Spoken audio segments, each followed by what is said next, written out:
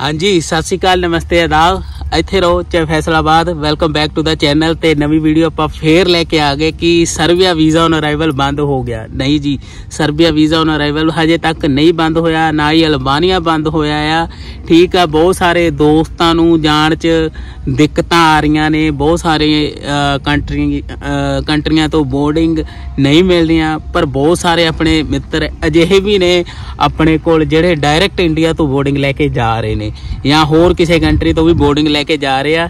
ਜੇਕਰ ਤੁਹਾਡੇ ਜਾਣ ਦੀ ਇੰਟੈਂਸ਼ਨ ਸਹੀ ਆ ਤੇ ਸਰਬੀਆ ਹਜੇ ਵੀ ਵੀਜ਼ਾ ਔਨ ਅਰਾਈਵਲ ਦੇ ਰਿਹਾ ਆ, ਤਾਂ ਤੁਸੀਂ ਵੀਜ਼ਾ ਫ੍ਰੀ 30 ਦਿਨਾਂ ਲਈ ਸਰਬੀਆ ਦੇ ਵਿੱਚ ਟਰੈਵਲ ਕਰ ਸਕਦੇ ਹੋ। ਇਹ ਗੱਲ ਮੈਂ ਵਾਰ-ਵਾਰ ਵਾਰ-ਵਾਰ ਕਹਿ ਰਿਹਾ ਆ ਕਿਉਂਕਿ ਬਹੁਤ ਸਾਰੇ ਦੋਸਤਾਂ ਨੂੰ ਇਹ ਡਰ ਹੋ ਗਿਆ ਵੀ ਹਾਂ ਵੀ ਵੀ ਸਰਬੀਆ ਦੀ ਐਂਟਰੀ ਨਹੀਂ ਮਿਲਦੀ, ਐ ਐ ਉਹ ਕੋਈ ਵੀ ਅਜਿਹਾ ਪਹਾੜ ਨਹੀਂ, ਕਿਸੇ ਵੀ ਕੰਟਰੀ ਦੀ ਇਮੀਗ੍ਰੇਸ਼ਨ ਨੂੰ ਕ੍ਰੋਸ ਕਰਨਾ, ਜੇਕਰ ਤੁਹਾਡੀ ਇੰਟੈਂਸ਼ਨ ਘੁੰਮਣਾ ਆ ਜੇਕਰ ਤੁਹਾਡੀ ਇੰਟੈਂਸ਼ਨ ਉੱਥੇ ਜਾ ਕੇ ਰੋਂਗ ਵੇ ਦੇ ਵਿੱਚ 2 ਨੰਬਰ ਦੇ ਵਿੱਚ ਬਾਰਡਰ ਕ੍ਰੋਸ ਕਰਨਾ ਹੈ, ਕਿਸੇ ਸੈਕਿੰਡ ਜਾਂ ਨੈਕਸਟ ਕੰਟਰੀ ਦੇ ਵਿੱਚ ਐਂਟਰ ਹੋਣਾ ਆ, ਫੇਰ ਹੋ ਸਕਦਾ ਆ ਤੁਹਾਡੀ ਇਮੀਗ੍ਰੇਸ਼ਨ ਦੇ ਵਿੱਚ ਤੁਹਾਨੂੰ ਪ੍ਰੋਬਲਮ ਆਵੇ, ਕਿਉਂਕਿ ਤੁਹਾਡੀ ਇੰਟੈਂਸ਼ਨਸ ਤੁਹਾਡੀਆਂ ਸ਼ਕਲਾਂ ਦੇ ਉੱਤੇ ਹੀ ਉਹਨਾਂ ਨੂੰ ਦੇਖਦੀਆਂ ਹੁੰਦੀਆਂ ਕਿ ਇਹ ਬੰਦੇ ਉੱਥੇ ਜਾ ਕੇ ਵਾਪਸ ਨਹੀਂ ਮੁੜਨ ਲੱਗੇ।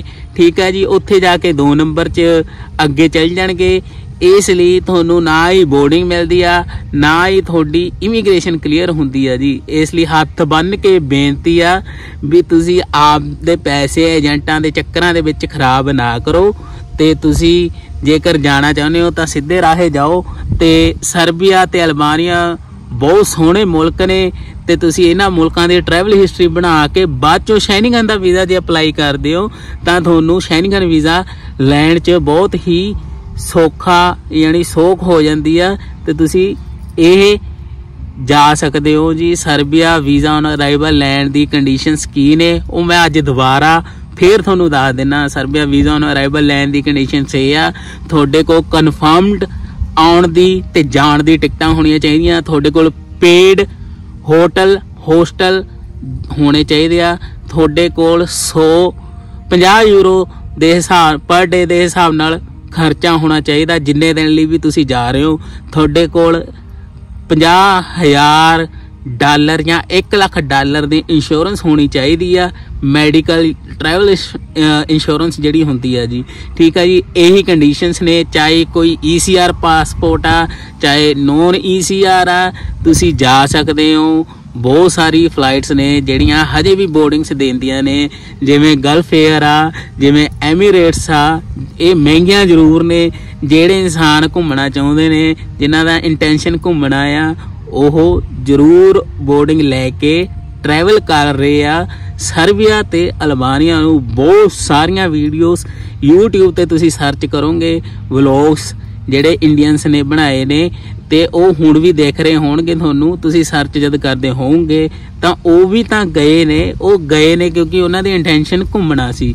ਜੇਕਰ ਉਹਨਾਂ ਦੀ ਇੰਟੈਂਸ਼ਨ ਡੋਂਕੀ ਲਾਉਣਾ ਹੁੰਦਾ ਜਾਂ 2 ਨੰਬਰ 'ਚ ਕਿਤੇ ਅਗਲੇ ਮੁਲਕ 'ਚ ਜਾਣਾ ਹੁੰਦਾ, ਤਾਂ ਉਹਨਾਂ ਨੂੰ ਵੀ ਐਵੇਂ ਐਂਟਰੀ ਨਹੀਂ ਮਿਲਦੀ ਤੇ ਤੁਸੀਂ ਵੀ ਜਾ ਸਕਦੇ ਹੋ, ਸਰਬੀਆ ਜਾਣਾ ਕੋਈ ਔਖਾ ਕੰਮ ਨਹੀਂ। ਬਹੁਤ ਸਾਰੇ ਲੋਕ ਇਹ ਕਹਿੰਦੇ ਆ ਵੀ ਵੇਜੀਆਰ ਨੇ ਉਹਨਾਂ ਨੂੰ ਡਿਨਾਈ ਕਰਤਾ, ਪਰ ਆਪਣੇ ਕੋਲ ਇੰਸਟਾਗ੍ਰam ਤੇ ਬਹੁਤ ਸਾਰੇ ਮੈਸੇਜ ਅਜਿਹੇ ਵੀ ਨੇ, ਜਿਨ੍ਹਾਂ 'ਚ ਦੋਸਤਾਂ ਨੇ ਇਹ ਦੱਸਿਆ ਵੀ ਵੇਜੀਆਰ ਨੇ ਉਹਨਾਂ ਨੂੰ ਬੋਰਡਿੰਗ ਦਿੱਤੀ ਆ, ਉਹ ਵੀ ਉਹਨਾਂ ਦੇ ਪਾਸਪੋਰਟ ਤੇ, ਉਹਨਾਂ ਦੀ ਟਰੈਵਲ ਹਿਸਟਰੀ ਦੇਖਣ ਤੋਂ ਬਾਅਦ। ਹਾਂ, ਜਿਨ੍ਹਾਂ ਕੋਲ ਫਰੈਸ਼ ਪਾਸਪੋਰਟ ਆ, ਉਹਨਾਂ ਨੂੰ ਜਾਣ 'ਚ ਥੋੜੀ ਦਿੱਕਤ ਹੁੰਦੀ ਆ। ਇਸ ਲਈ ਤੁਸੀਂ ਇੱਕ ਦੋ ਕੰਟਰੀਆਂ ਟਰੈਵਲ ਕਰ ਲਓ, ਜਾਂ ਤੁਸੀਂ ਫਰੈਸ਼ ਪਾਸਪੋਰਟ ਹੋ, ਤਾਂ ਇੰਡੀਆ ਤੋਂ ਪਹਿਲਾਂ ਦੁਬਈ ਚਲ ਜਾਓ ਦੁਬਈ ਤੋਂ ਅਜ਼ਰਬਾਈਜਾਨ ਚਲ ਜਾਓ ਅਜ਼ਰਬਾਈਜਾਨ ਤੋਂ ਤੁਸੀਂ ਇਜਿਪਟ ਚਲ ਜਾਓ ਇਜਿਪਟ ਚੋਂ ਫੇਰ ਦੁਬਈ ਆ ਜਾਓ ਓਮਾਨ ਚਲ ਜਾਓ, ਐਵੇਂ ਤਿੰਨ ਚਾਰ ਕੰਟਰੀਆਂ ਦੀ ਟਰੈਵਲ ਹਿਸਟਰੀ ਬਣਾਉਣ ਤੋਂ ਬਾਅਦ ਤੁਸੀਂ ਸਰਬੀਆ ਜਾ ਸਕਦੇ ਹੋ। ਸਰਬੀਆ ਜਾਣਾ ਕੋਈ ਬਹੁਤਾ ਔਖਾ ਕੰਮ ਨਹੀਂ ਤੇ ਇਸ ਵੀਜ਼ਾ ਔਨ ਅਰਾਈਵਲ ਕੰਟਰੀ ਦਾ ਤੁਸੀਂ ਮਿਸਯੂਜ਼ ਨਾ ਕਰੋ, ਕਿਉਂਕਿ ਜਿੰਨਾ ਤੁਸੀਂ ਮਿਸਯੂਜ਼ ਕਰੋਗੇ, ਦੂਜੀ ਕੰਟਰੀਆਂ ਨੇ ਵੀ ਇਨਸਿਕਿਉਰ ਹੋ ਕੇ ਇਹਨਾਂ ਗੱਲਾਂ ਕਰਕੇ, ਠੀਕ ਆ ਜੀ, ਸਾਨੂੰ ਵੀਜ਼ਾ ਔਨ ਅਰਾਈਵਲ ਦੀ ਫੈਸਿਲਿਟੀ ਬੰਦ ਕਰ ਦੇਣੀ ਆ ਤੇ ਸਾਡੇ ਪਾਸਪੋਰਟ ਦਾ ਰੈਂਕ ਹੋਰ ਥੱਲੇ ਗਿਰ ਜਾਣਾ ਆ। ਤੇ ਸਾਨੂੰ ਬਾਅਦ ਚੋਂ ਜਾਣ 'ਚ ਹੋਰ ਦਿੱਕਤਾਂ ਹੋਣੀਆਂ ਨੇ ਤੇ ਵੀਜ਼ੇ ਲੈਣ 'ਚ ਤਾਂ ਅੱਗੇ ਬਹੁਤ ਸਾਰੀ ਕੰਟਰੀਆਂ ਦੀ ਦਿੱਕਤਾਂ ਆਉਂਦੀਆਂ ਨੇ, ਪਰ ਜਿਨ੍ਹਾਂ ਦੀ ਇੰਟੈਂਸ਼ਨ ਸਹੀ ਹੁੰਦੀ ਆ, ਉਹਨਾਂ ਨੂੰ ਵੀਜ਼ਾ ਲੈਣ 'ਚ ਕੋਈ ਦਿੱਕਤ ਨਹੀਂ ਆਉਂਦੀ, ਕਿਉਂਕਿ ਉਹਨਾਂ ਕੋ ਇੰਟੈਂਸ਼ਨ ਹੁੰਦੀ ਆ ਕਿ ਉਹਨਾਂ ਨੇ ਘੁੰਮਣ ਜਾਣਾ। ਹਾਂ, ਹੋ ਸਕਦਾ ਹੈ ਪਹਿਲੀ ਵਾਰ 'ਚ ਵੀਜ਼ਾ ਨਹੀਂ ਮਿਲਦਾ, ਦੂਜੀ ਵਾਰ 'ਚ ਵੀਜ਼ਾ ਨਹੀਂ ਮਿਲਦਾ, ਤੀਜੀ ਵਾਰ 'ਚ ਨਹੀਂ ਮਿਲਦਾ, ਚੌਥੀ ਵਾਰ 'ਚ ਨਹੀਂ ਮਿਲਦਾ, ਪੰਜਵੀਂ ਵਾਰੀ ਵੀਜ਼ਾ ਜ਼ਰੂਰ ਮਿਲਦਾ ਆ, ਜੇਕਰ ਉਹਨਾਂ ਦੀ ਇੰਟੈਂਸ਼ਨ ਘੁੰਮਣਾ ਆ ਠੀਕ ਹੈ ਜੀ, ਜੇਕਰ ਕਿਸੇ ਦੀ ਇੰਟੈਂਸ਼ਨ ਉੱਥੇ ਜਾ ਕੇ ਇਲੀਗਲ ਇਮੀਗ੍ਰੈਂਟ ਬਣਨਾ ਆ, ਫੇਰ ਉਸ ਬਾਰੇ ਆਪਾਂ ਕੋਈ ਨਹੀਂ ਕਹਿ ਸਕਦੇ, ਠੀਕ ਹੈ ਜੀ? ਤੇ ਇਹ ਇਨਫੋਰਮੇਸ਼ਨ ਸਰਬੀਆ ਤੇ ਅਲਬਾਨੀਆ ਰਿਗਾਰਡਿੰਗ ਸੀ।